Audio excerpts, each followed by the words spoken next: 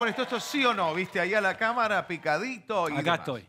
¿Cuándo vendrías? No, chicos, estoy leyendo muy mal últimamente. ¿Qué pasa, no? No, para, para, tomate una todo pausa. bien. Tomate una Sí, pausa, una relaja, pausa. relaja. Soltalo, soltalo. Chicos, ¿me puedo poner un Time New Roman 27?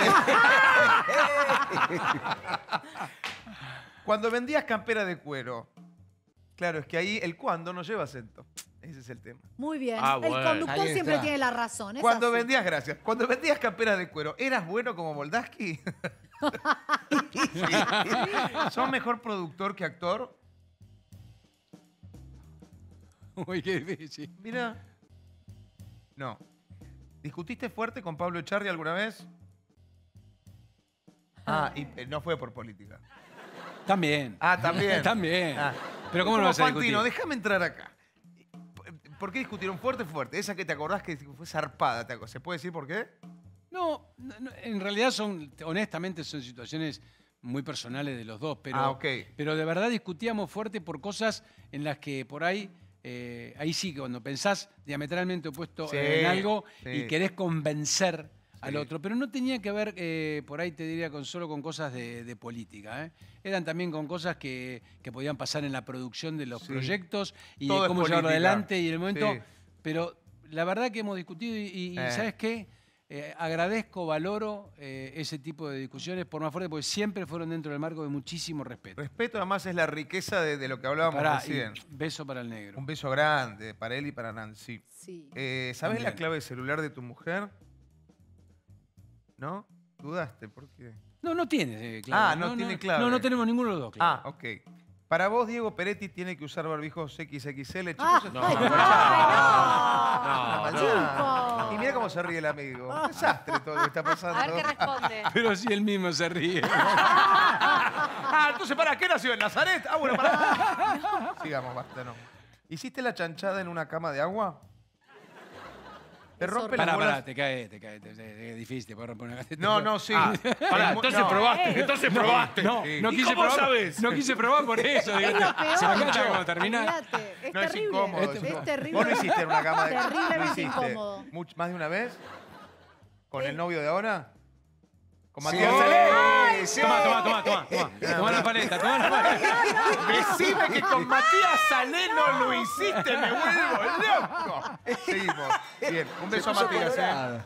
Este Ay, gran usador de colchón. Seguimos. ¿Te rompe las bolas que te pregunten cuándo vuelven los simuladores? La verdad, no. Si tuviese que elegir una década de tu vida, ¿elegirías los 90?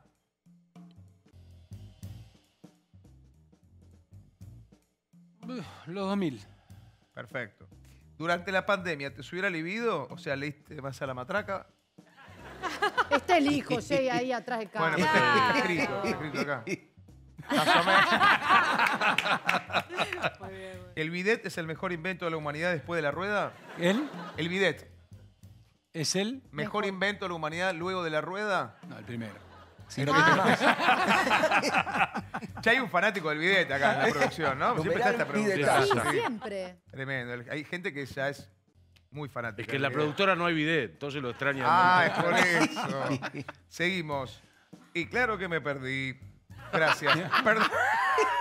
¿Qué conductor te hace esto? ¿Qué conductor reconoce sus Pero con errores? una naturalidad aparte, pero hermosa.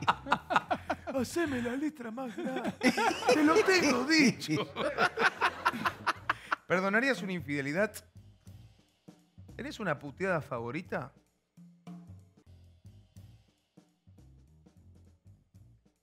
El silencio. Sí, Sí.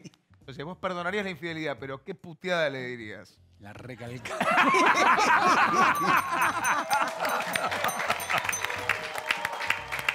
La mejor, claro, como esto es sí, no, las preguntas a veces están condicionantes, ¿no? La mejor película de cifrones relatos salvajes. Sí. Eh, ¿Algún hombre te tiró los perros alguna vez?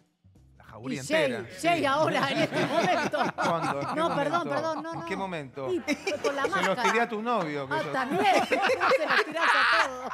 ¡No hay un piquito para mí! Bueno, al- eh, ¿te confunden con otro famoso? ¿Te ha pasado alguna vez? ¿Con quién? Con Miguel Abud. Me confundían Miguel mucho. Abud. Mucho, sobre todo cuando éramos más... Marido de Valeria Lynch. Claro, Miguel antes de. Cauborne.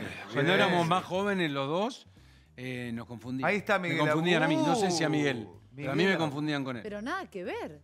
no, No, ahora, ¿eh? Ahora no, vos ves la foto, pero en tenía aquel barba, momento Miguel. había algo, ¿eh? Había Sí, algo. Sí, yo, hay yo- un algo, sí. Hay Sí. una bud en vos. Había, había un, una en mí. ¿Te echaron de un boliche alguna vez?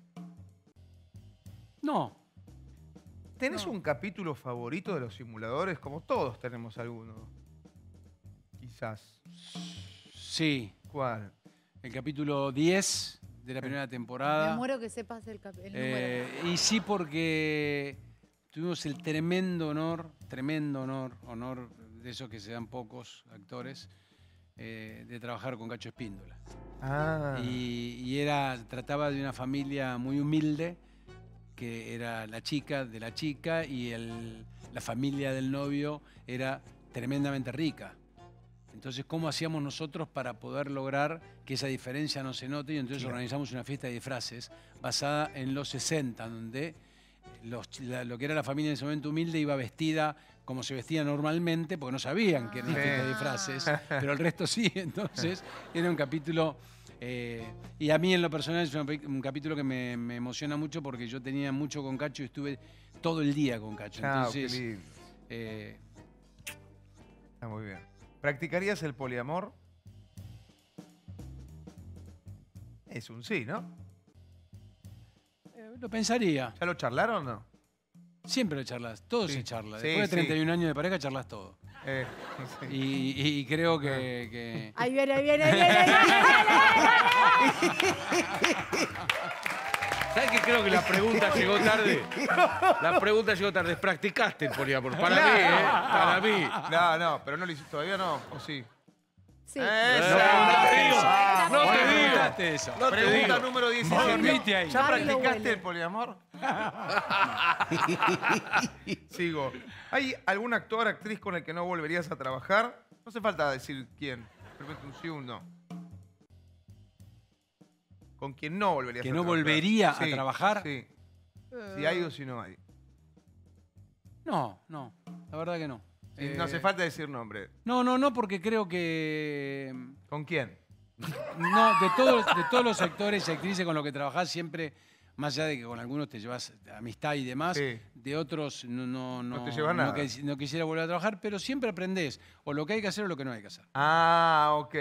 ¿Pero volverías con esas personas a trabajar o no? Y si hay ciertas personas que por ahí no te llevas bien, no tenés la energía y demás, y lo puedes evitar, mucho mejor. Bien. Pero, si me pagan bien. Digo, ¿le dijiste a tu mujer alguna vez, hay un piquito para mí? o ella a vos, no sé. Ah, me, lo, me lo da, me lo da mi mujer. Sí, no hace falta que se pida nada. Y la última pregunta es, ¿es Martín Seffel uno de los galanes más talentosos, yo diría actores, más claro que, que sí. de la República Argentina. Sí, señor. Sí. Sí. Sí, sí, sí. que no. Que no.